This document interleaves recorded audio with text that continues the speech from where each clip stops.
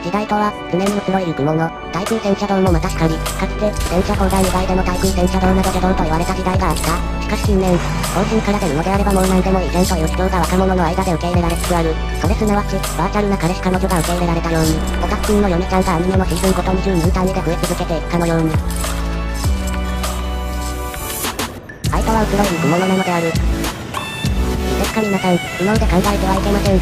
先進で考えるのです。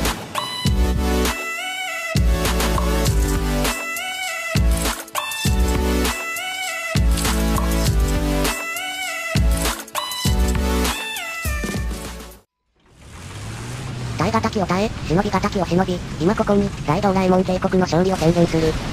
あ？負け台詞を積極的に勝ち台詞に転用していく。いいね、ポイント高いよ。うん、違和感しかないが、とりあえず何が勝ちなのか教えてくれ。それはね、こいつさ。おい惑星名物、真夏のチキチキタスクエベ。ことオペレーションサマー2020。おお、もうそんな季節か。今年も暑い夏が始まるんやん。が間もなく終わりを迎えるわけですが。は？もうぼちぼち9月やぞ。食欲のデブこと秋やがな。夏終わりやがな。お、おかしい。俺たちは動画シリーズでまだ夏入れを走っていないはずだ。なのにもう終わりなんて、何かが起こったに違いない。多分スタンド攻撃のたいや、夏入れについては生放送でたっぷりお伝えしてたから、アーカイブ見てねって話、まあぶっちゃけ家庭なんてのはどうでもいいんだよ。大切なのは結果、今回のイベント報酬車両がどうなのか、それだけさ。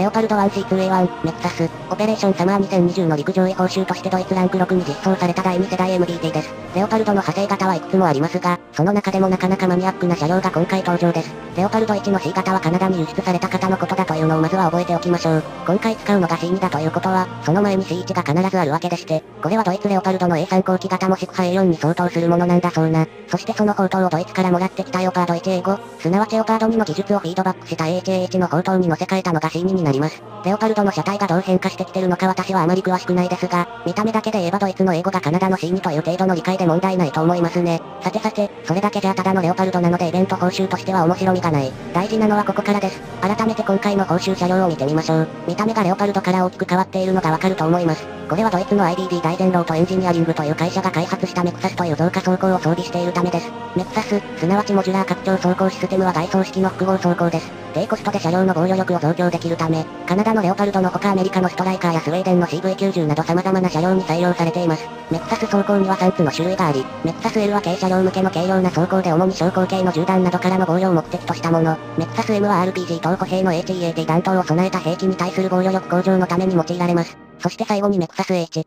これは MDT などの大型車両用の走行で、HEAT だけでなく 30mm クラスの AP 弾や地雷などの運動エネルギーに対する防御力向上のために用いられます。言うまでもなく今回のレオパルドが装備してるのはこの H 型ですね。さて、C2H メクサスが防御力向上型レオ1というのはなんとなく分かったと思いますが、気になるのは具体的にどれくらい防御力が上がっているのかって部分ですよね。レオパルド HH と比較してみましょう。まずは対 HEAT 防護。砲塔正面は HH が150から200ミリ程度だったのに対し、C2H では350から400ミリ以上にまで増加。車体正面面は HH が150ミリ程度なのに対し、C2H では220ミリ前後まで増加。砲塔側面を見てみましょう。HH が60から70ミリ程度なのに対し、C2H ではなんと400ミリ以上。車体も同様で HH が100ミリ程度なのに対し、C2H では350ミリ前後にまで増加。対 HEAT の防御力はおおむね200ミリ。場所によっては300ミリ以上強化されてるってことになりますね。さて、続いてはお待ちかねの対 AP 性能。まずは砲塔正面。HH が180ミリ程度なのに対して C2H は130ミリ程度。あれ？続いて車体正面。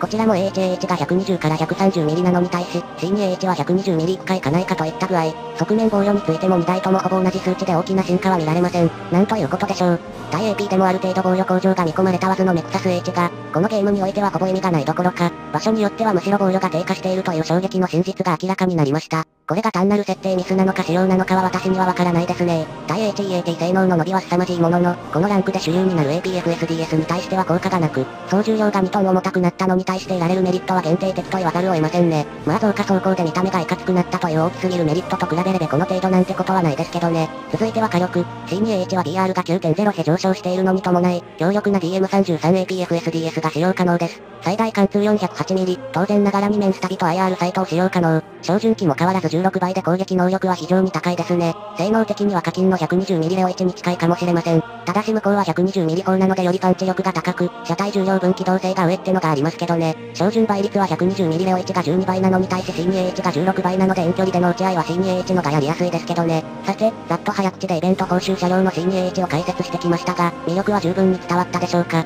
え、言葉だけじゃよくわからん。よろしい、ならば試合だ。そう、つまり我々が今これに乗っているということは夏入れを走り切り、報酬を勝ち得たからなのだよ。どうせお金の力でぶっ飛ばしたんだろ？知ってんだぞ。いやいや、実派ですねって何回言う。ミガさん。うっほ、当たった、オブジェ680を撃破。敵も思いのほか突っ込んでくるな。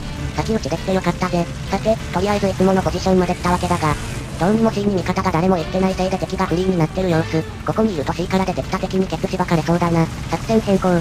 この広場はさっさと通り抜けてしまおう。とりあえず広場抜けた先の建物に張り付こう。そういえばさっき今回のイベントについて何か言いかけてたみたいだが？ああ、そうそう。実は今回のイベントは久しぶりに GE4 をほぼ使わずに走り切ったのよ。唯一使ったのはお盆期間中でできなかった4個目のタスクぐらい。おお、すげえじゃん。まあお空の報酬はフル金玉で完走したんだけどね。そんなこったろうと思ったぜ。ふっふっふ、何のために毎日遅くまで残業してると思ってるんだ。金ならある。ダメだこいつ。早くなんとかしないと。んなことより敵が D に入ってるぞ。C から回り込んできたか？お、あれか。むむむ、逃げるつもりか。させぬわ。吹っ飛べ。おいえー、スウェーデンのレールガン撃破。味方も周囲にいるはずなんだけどな。やはりあの手の血まっこい奴らは厄介だ。伊賀者か、む、マップで味方リス近くにいた T55 も吹っ飛んだか。配置的にあれとさっきのトラックが C に来てた結果ね。なら今は C フリーなんじゃないかかもね。せっかくこの足があるんだ。俺は C を取りに行くべきだと思うが。うーん、どうだろう。マップの全体的な配置を見るに、敵味方ともに A の工場攻めなムード。なら互いに人数が少なくなってきたこのタイミングで B にも敵の構成が来そうな気がするんよね。そら、行ったそばから B にいた味方が吹っ飛んだ。残ってる味方は対空砲だけだし、多分あれで止められんだろう。ならその次は B を踏みに来るはずだ。ここは町の一手が正解と見たね。味方が注意喚起。もう B のすぐ横まで来てるぞ。味方大破。すまんな、助けられんで。その犠牲は無駄にせん。報酬、射撃用意。間もなくお出ましだ。もう照準は置いてる。任せてくれ。来た。狙って狙ってオーケー、レオパルド撃破。これで終わりか？わからん。が、今はちょうどよく敵の意識の外に入れてる。このまま待機で。と、言ったそばから。もう一号レオパルド撃破。待ち伏せがうまいことハマってるな。A の工場外に敵発見の報告あり。あの位置ならここから撃てるんじゃねえか？丸見えだぜ。中華 BMP1 撃破。だって A は完全に敵の手に落ちたか。とフェア B にまだまだ落ちよけてきそうだし、両方にも動けなくなっちまったな。幸いまだ敵には気がつかれてないし、もう少し稼げそうだがね。とちょっと待て。奥に何かいるやん。危ねえ。D55AM 撃破。105ミリと速え。貫通400超えてるとさすがに威力がすげえな。さあさあ、どんどん来やがれ。まとめて相手してやるぜ。む、正面からエンジンオン。お、あの孤独なシルエットはまさか、キン、コブラキングだ。まさかこのランクでお目にかかれるなんてな。今日はいいことがあるかもしれん。その鋼みたいな筋肉ズタボロにしてやるぜ。吹っ飛びな。よし、コブラキング。ってねえ。普通の EG8 でねえか。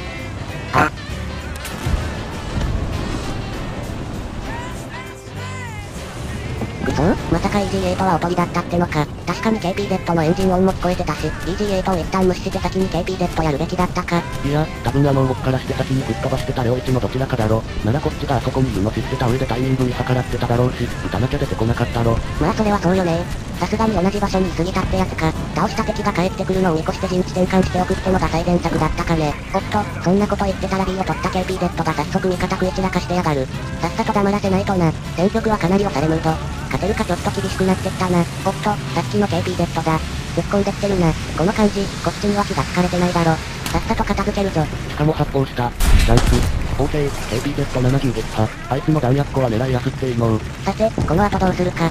どうせならさっきのポジションに行きたいところだが、怖いのはこの先に敵がいないかどうか。よし、クリア。続いて B 奥の通路。よし、こっちもクリア。おう。き、貴様いつの間に。お前の着地がバガバじゃねえか。牛、AMX10R 撃破。頼むぜ。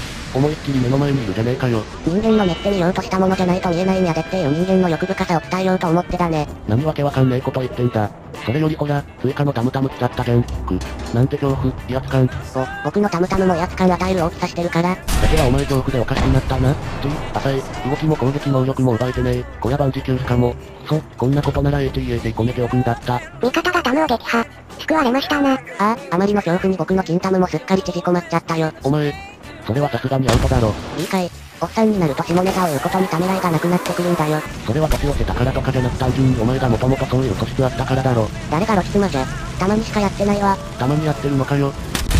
ああもう、びっくりしすぎて殺しきれなかったじゃんか。たまにって言っても自宅のマンションの玄関先とかそういうのだから、別に変態じゃないよ。ちょっと股間に夜風が当たると気持ちいいなとか、今ここで下の階に住んでるクラスメイトの女子が来たらどうなるんだろうとか考えてドキドキしてるだけだから、いわゆる変態のそれとは違うよ。そういうのを変態って呼んだよ、熊吉くん。違うよ。仮に僕が変態だとしても、それは変態という名の紳士だよ。ダメだこいつ、お前からもなんとか言ってやってくれ。腹章。あ、そういえばお前もそっち側だったな。ああ、今日も空が青いな。こんなにもエンジンは真っ黒なのに、あのジーナ地獄に落ちねえかな。まあまあ、ビールでも飲んでリラックスしな。ただいま午前2時半。ビール飲みながらの動画編集でいい感じにおかしな方向へ動画が進み出したぞ。お、何か足の速い敵が C に入ってったな。あのシルエットはレオパルドかなにしては足速すぎな気もするが、まあ聖地だしあんなもんなんかな。さてご会長。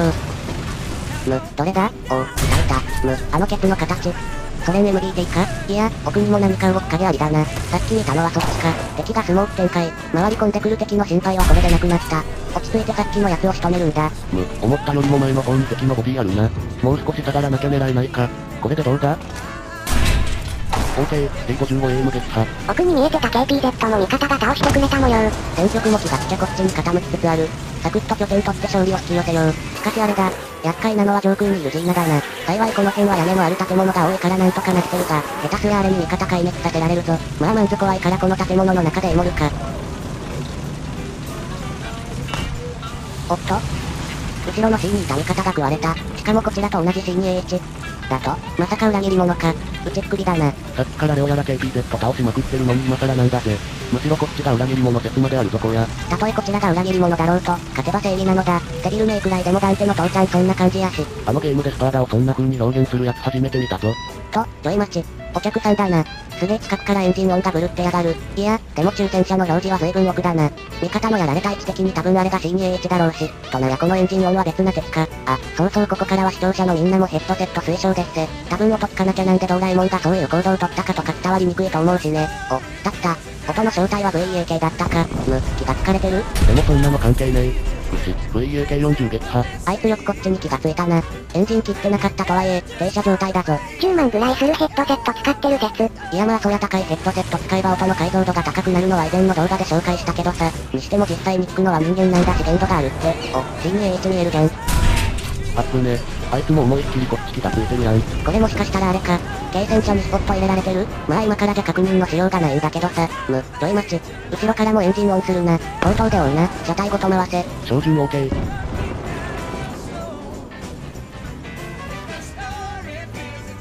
うんあ、これそこにいる味方 T55AM のエンジン音か。でもってそっちから聞こえるのは C にいる味方のエンジン音と、思ったよりも近くに聞こえたからビビっちまったぜ。あんなに高いヘッドセット使ってるのにこれは聞き分けられないんか。いや、実はさ、この収録古い方のヘッドセット使ってるのよ。おん、そりゃなんでまた。は新しい方のヘッドセットがさ、なんか動かなくなっちゃったんよ。ぁ、ょ、おま、3万もするヘッドセットもうぶっ壊したのかよ。ちゃうんやって、このヘッドセットさ、アンプが充電危険ヘッドセットスタンドになってるから使わないときは基本そこに画像みたいに立ててるのよ。それが先週木曜日ゲームやるかってヘッドセット使おうとしたらさ、なんか電源ランプの表示が充電マークになってないし、スタンドの液晶表示もなんかおかしなことになってるしでさ、Windows の音出力をヘッドセットに変更しても音出ないしで、もうわけわからんのよ。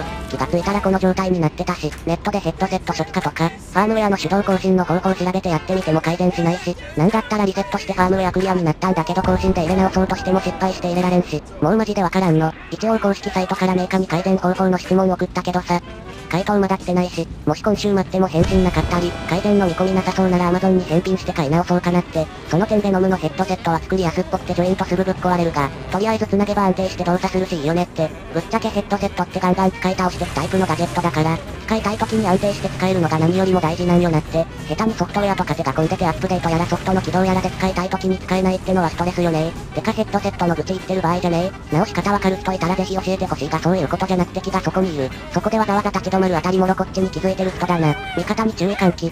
配置的に挟み込みいけると思うんだがな。あとは気づいてもらえるかどうか。多分大丈夫だと思うが、あんまり時間かけてると敵がこっちを挟み込んでくる可能性もあるしな。お、味方 T55 が動き始めた。これはいけるな。多分こっちに注意向いてるだろうから、そのままやっていただくもよし、撃たれたところをこっちが撃ちに行くのもよし。ミサイル発射確認。よし、タイミングはバッチリだ。吹っ飛びな。OK、腕す撃破。一瞬 IFV 系だったらどうしようとも思ったが、そもそも機関砲撃ってない時点でミサイルキャリアなのは確定だったか。そしてジーナ。貴様は後でぶち殺す。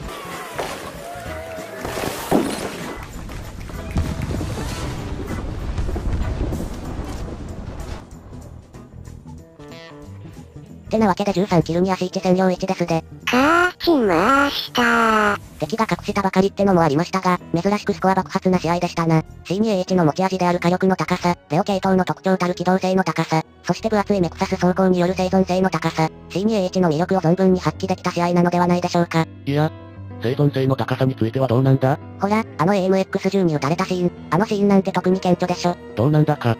だってお前 AP に対する防御はほぼ同じって言ってたじゃん。あれだって多分運が良かっただけだぞ。いや、違うね。メクサス走行の優しく包み込むような包容力が砲弾の破片を吸収しきり、結果として車内へ与えるダメージを極限まで減らしてくれたんだよ。そう、だからつまり、人類は滅亡するんだよ。な、なんだっていや、さすがに無茶苦茶すぎるやろ。ネタ拾ってやった俺に感謝しろや。まあまあ、細かいことなんてどうでもいいんだよ。大切なのは今回のイベント報酬車両であるこの子で大活躍する模様をお伝えできたってことさ。いいかいこの車両を獲得する最低ラインのタスクが終わってまだ数日、多くの人が目標にしていたこの車両を目前にして手に入れるべきかを悩んでいる時期だ。そこでイベント報酬車両は最高にクール、という情報を私が流す。それによってみんなはこの車両を是が非でも手に入れなければ、そういう認識に知らず知らずのうちになってるはずだ。そう、つまり私がこの車両の動画を上げるということはお金を払ってでもこの車両を手に入れる人が増えるということ。それすなわちこのゲームの利益向上であり、ひいては公式アイドル系対空戦車同村シチューバードーラえもんの評価アップと給金拡大にもつながる。つまりドーラえもんを愛するということは課金して新 2h を手に入れることと同義。さあみんな、今すぐ課金するんだ。私のために。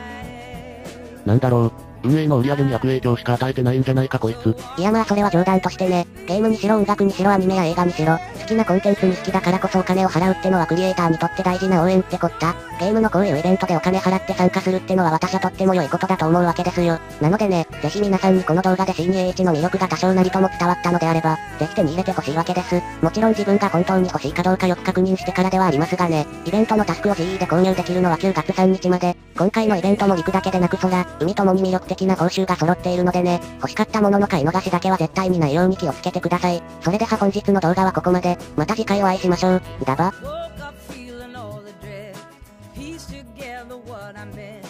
realized that she pushed me out.